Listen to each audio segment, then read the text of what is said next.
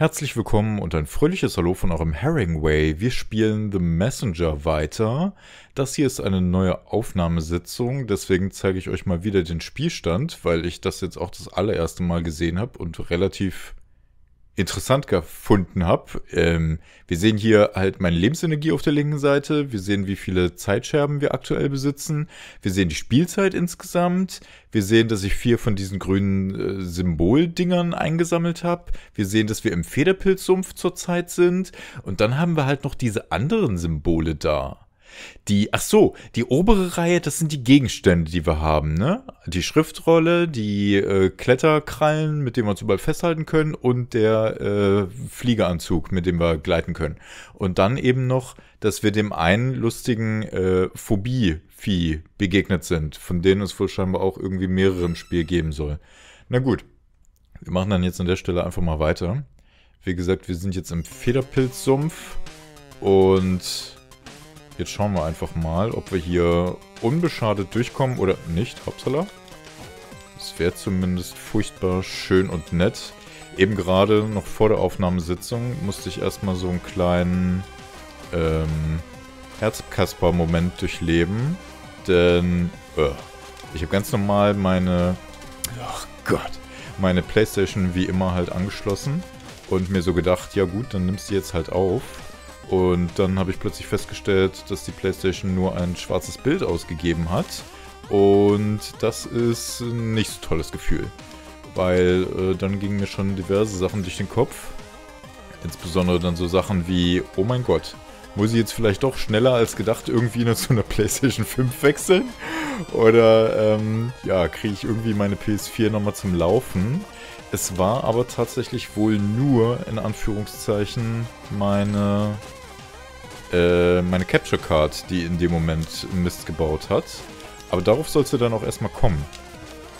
Ich habe es dann einfach rausgefunden, indem ich das HDMI-Kabel von meiner Playstation halt mal direkt in den Fernseher reingesteckt habe, ohne die Capture Card. Und dann habe ich Bild angezeigt bekommen gehabt und dann war wieder alles schick. Und dann habe ich nur die Capture-Karte neu gestartet und dann hatte ich auch wieder Bild. Aber holla die Waldfee, das sind so Momente, auf die hat man... Aua? Auf die hat man im Allgemeinen eher wenig Lust. Das kann ich euch sagen.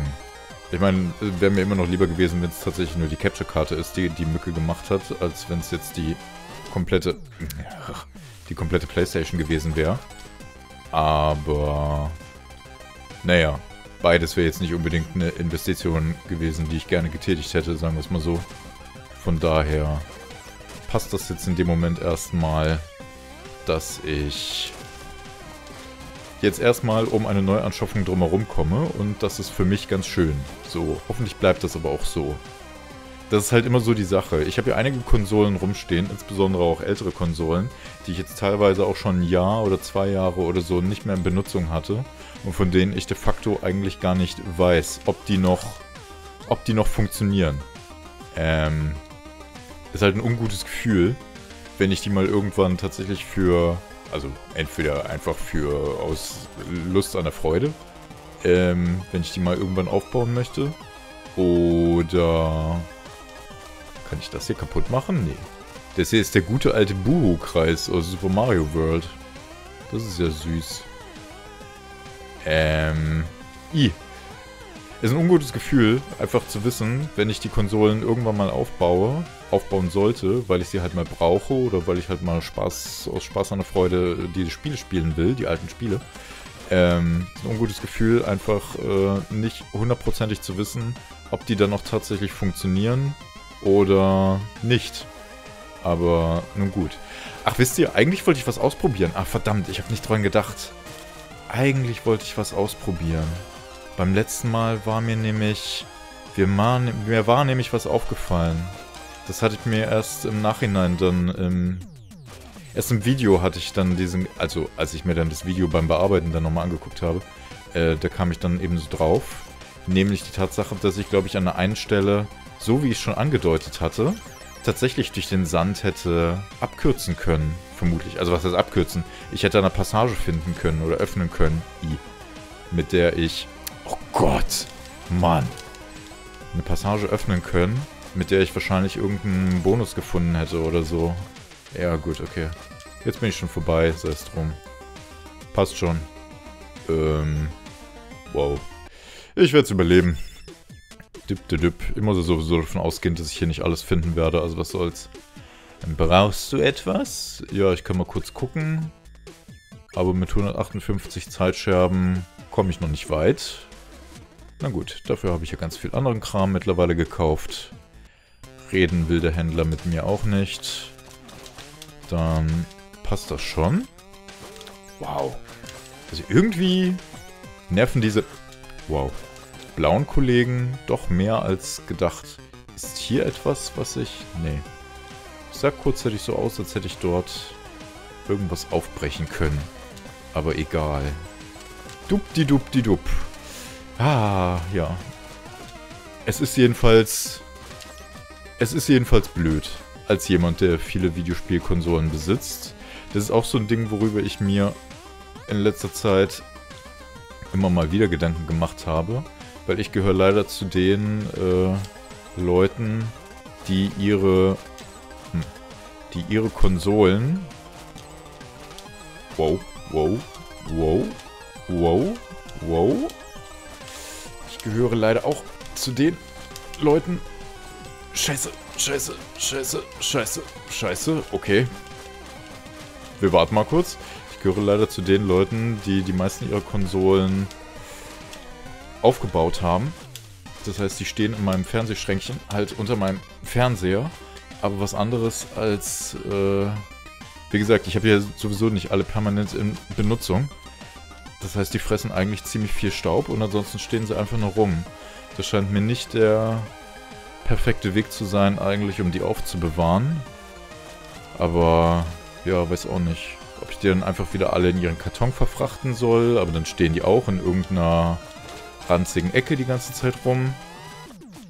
Und dann besteht vielleicht noch mehr die Gefahr, dass ich sie länger nicht benutze oder bringt es überhaupt was, sie ab und zu zu benutzen? Das, ist, das Unvermeidliche wird dann sowieso irgendwann sein. Irgendwann kann ich sie halt nicht mehr nutzen, weil sie dann das Zeitliche segnen. Und dann ist die andere Frage, findet man dann noch jemanden, der sie für einen repariert oder ist dann wirklich vorbei und man muss dann irgendwann in Zukunft zwangsläufig auf Emulatoren zurückgreifen oder so. Es ist... Es ist blöd. Der Lauf der Zeit, das ist so eine Sache. Das kann man halt leider nicht verhindern. Ich bin gleich tot. Ich bin gleich sowas von tot. Ich bin gleich sowas von tot. Das ist irgendwie blöd. Äh, scheiße. Es war so klar. Yay. Sah dieses Geschoss etwa wie ein Heiltrank aus? Mach mich nicht fertig. Oh. Und dann direkt wieder hier. Mein Gott. So. Ähm. Frage ist nur, gehe ich jetzt hier hinten... Uh, toll. Gehe ich jetzt hier hinten in die Ecke rein? Wow. Oder nicht? Oh. Diese Stelle hier ist echt mies. Muss ich mal so sagen. Die ollen Pilze, die nerven schon extrem. Hier, die Ecke meine ich. Eigentlich ist es blöd, dorthin zu gehen. Wow, wow, wow, wow. Äh, schießt du nach unten? Du schießt nach unten, aber so richtig kannst du auch nicht schießen, weil, äh, wegen dem Pilz. Ich gehe mal dort oben nicht in die Ecke. Bringt mir jetzt unmittelbar erstmal nix.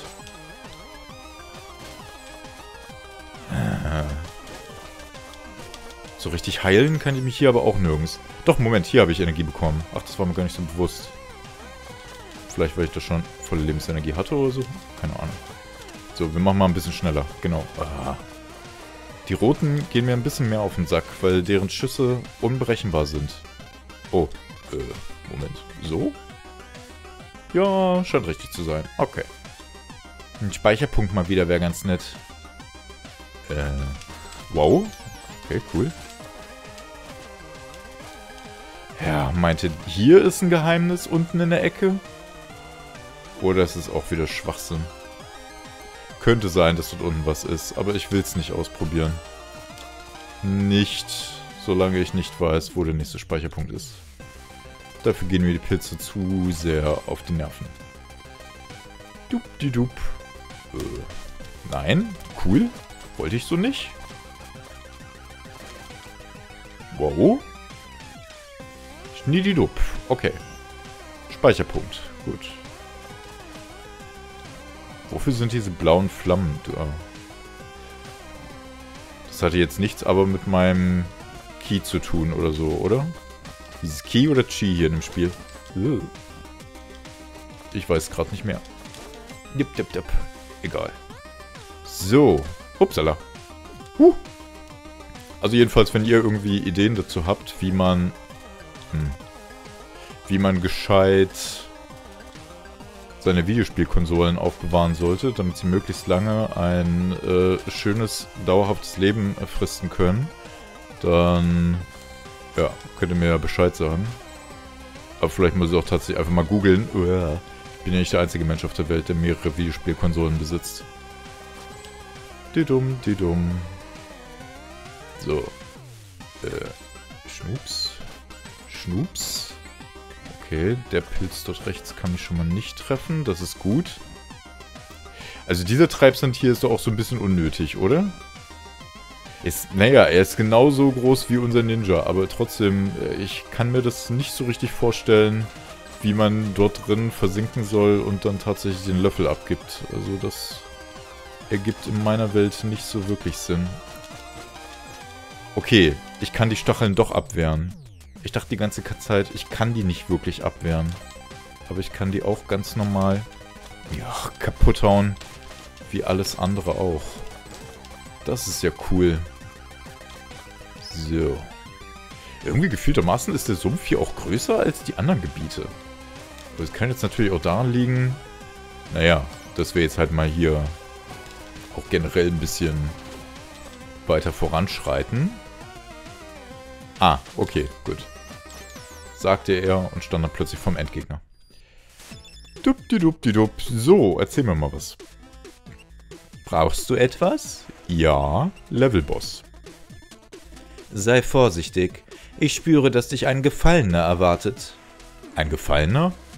So nennen wir die Messenger, deren Mission auf tragische Weise endete und deren Macht durch dämonische Magie verdorben wurde. Warum bist du auf einmal so ernst?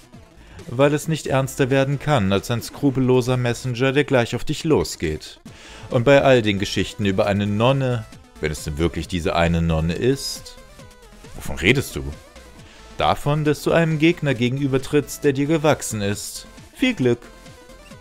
Sehr gut. Okay. Ein gefallener Messenger. Klingt ja spannend. Ähm, manche Gegner hinterlassen Kugeln, die eine Chi-Ladung wiederherstellen. Tja. Chi-Ladungen durchschlagen ein Ziel. Kontrollpunkte stellen die TP nun bis 5 wieder her und füllen alle Key-Ladungen auf. Oder Verteidigung plus. Ja, worauf spare ich jetzt? Ich könnte mir erstmal die Sachen hier so langsam organisieren. Oder ich spare jetzt erstmal auf das hier. Verteidigung plus klingt eigentlich insgesamt geiler als der andere Kram. Ich glaube, ich spare jetzt. Yay, na dann. So. Sieh an, sieh an. Wir haben offenbar einen Eindringling. Du musst hier weg. Es mit hier nur so vor Monstern. Oh, hat dich mein Federpilz erschreckt? Dann stimmt es also? Gefällt dir meine Armee nicht? Das ist echt schade, weil du ihr nämlich bald beitrittst. Moment mal, diese Schriftrolle. Das ist doch nicht etwa... Nein, das ist nicht möglich. Knie nieder vor deiner Königin und empfange den Fluch der Federn.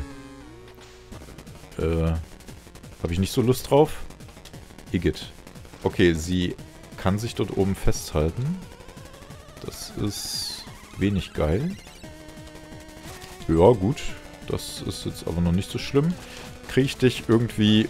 Wow, Ah, das ist halt so die Frage. Nicht zu nah rankommen wäre ganz gut. Aber... Igitt! Wow, okay. Sie kann mich in einen Pilz verwandeln. Ah, guck mal, aber ihre Pflanzen, die können unter Umständen auch Lebensenergie fallen lassen. Das ist ja cool. Äh, so, wieder kaputt machen. Kommst du runter? Ja, du kommst runter. Dann kann ich dich wieder ein bisschen treffen. Also am besten treffen und Abstand halten, so wie es aussieht.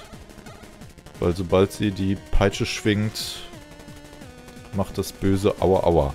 Ah! Mist. Okay. Wie weicht man da gescheit aus? Indem man dann so, genau, zur Seite geht und sich nicht weiter in der Mitte aufhält. So, jetzt kommst du bestimmt wieder runter, ne? Genau.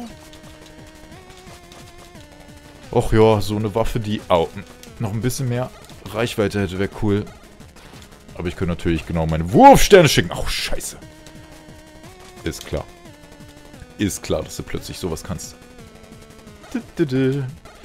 Endgegner, die sich mitten im Kampf plötzlich irgendwelche Spezialstrategien ausdenken, sind mir immer die liebsten.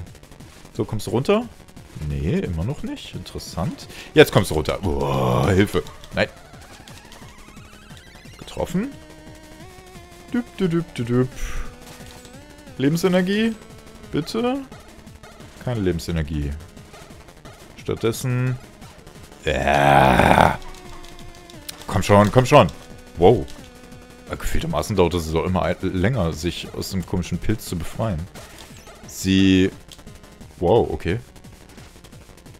Äh... Ich kann den gar nicht. Wie, wie, hätte ich den jetzt besiegen? Ach so, wie hätte ich den besiegen sollen? Mit dem ersten äh, hätte ich die Höhe und dann... Okay, alles klar.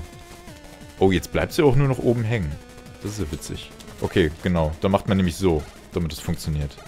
Okay, ich verstehe. Wenn ich mich in einen Pilz verwandle, bekomme ich davon aber zumindest noch keinen Schaden.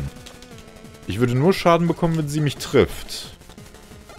Also eigentlich ist der Kampf sehr nett gestaltet. Könnte um einiges schlimmer sein. Oh Gott. Hilfe, Hilfe, Hilfe. Wow. Okay. Dup, dup, dup, dup. Ähm, ja. So und so. Jetzt habe ich mal Lebensenergie bekommen. Das ist ja süß.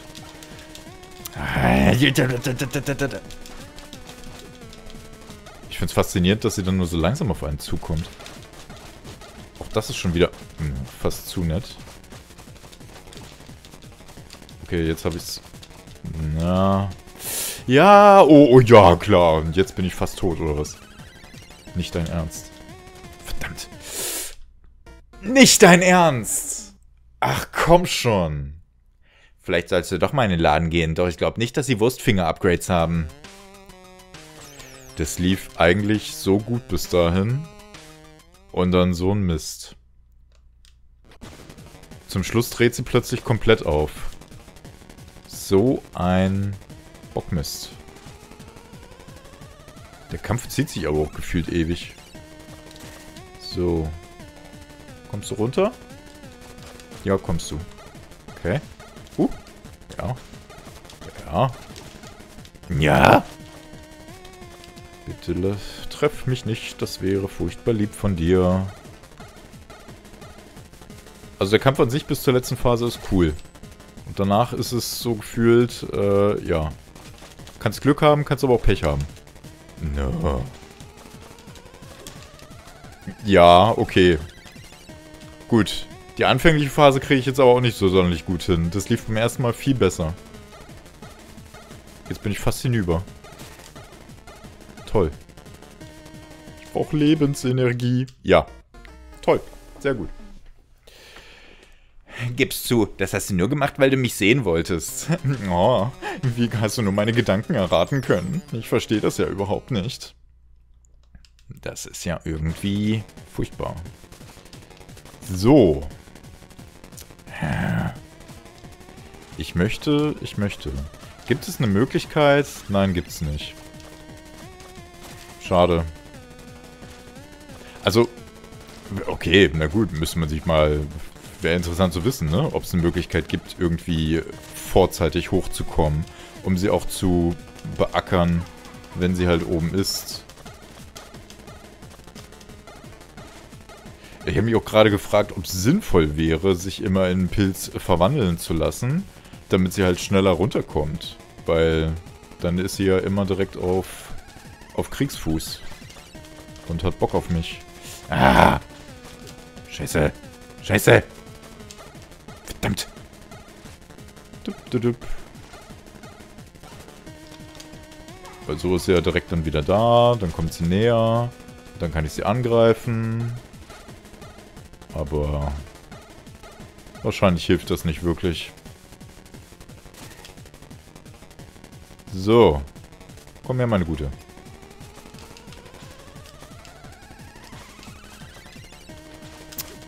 Das nächste, was ich mich gefragt habe, ist, wann ist der richtige Moment, um meine Wurfsterne zu aktivieren? Um sie aus der Ferne anzugreifen. Das wäre doch eigentlich auch erst hinten raus dann sinnvoll, wenn sie schon viel Schaden eingesteckt hat. Es ist nicht wahr. Wie habe ich das am Anfang so gut hinbekommen? Zehn Tode verhindert. Quabel ist der Beste. Aha. Jetzt fängt er auch noch mit Zählen an. Warum spiele ich nur noch Spiele, in denen die Leben gezählt werden? Ich verstehe das nicht. Dip, dip, dip. Gefühltermaßen. Spiele ich gar nicht. Naja, Albus Awakening ist noch nicht so lange her, deswegen verzeiht es mir. Heieieiei. Wie habe ich das am Anfang so gut hinbekommen? Ich verstehe das nicht.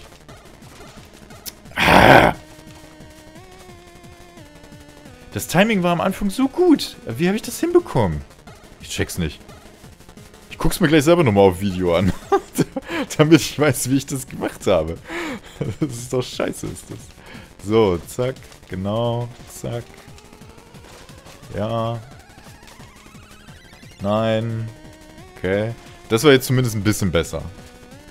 Also zumindest ein kleiner Fortschritt war jetzt zu erkennen.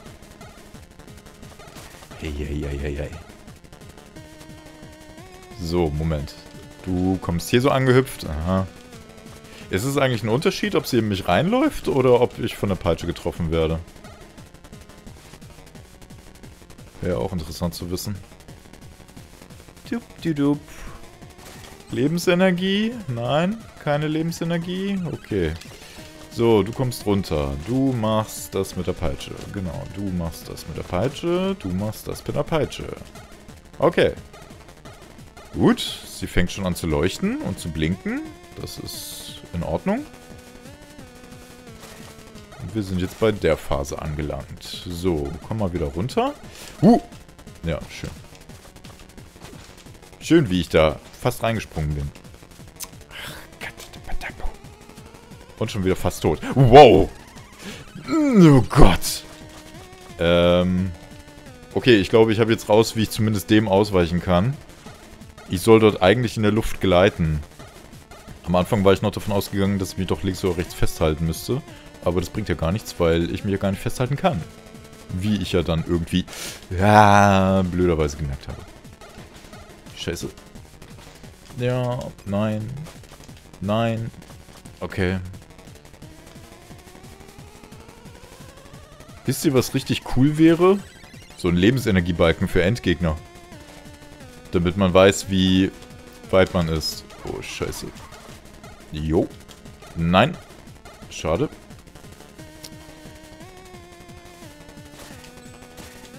Ist noch nicht die letzte Phase. Kann ja nicht. Huh. Shampoo, Shampoo. Scheiße. Oh oh. Das erste Gehalt ist immer nett, doch mittlerweile sehe ich hauptsächlich die Arbeit. ich frage mich, wie viele Texte er eigentlich so drauf hat. Ich fürchte nur, wir werden es früher oder später herausfinden. Oh, scheiße. Also die ist der erste äh, richtige Test. Das gefällt mir mal absolut rein gar nicht. Okay. Gut, wir machen jetzt an der Stelle eine Pause und setzen äh, unser Abenteuer beim nächsten Mal fort. Hoffentlich dann mit etwas mehr Glück. Vielleicht stehen uns aber, aber auch ein paar Parts bevor, in denen wir gegen sie antreten. Ich bin gespannt. Ihr hoffentlich auch. Für den Moment soll es erstmal wieder gewesen sein und ich sag dann einfach mal Tschö mit Ö und hoffentlich bis ganz, ganz bald.